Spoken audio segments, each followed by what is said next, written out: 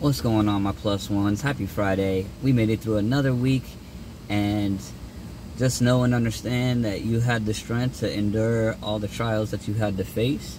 You made a plan, you made moves to let that plan become your reality. And now it's time to sit back, relax, and enjoy your weekend. Happy Friday. Love you.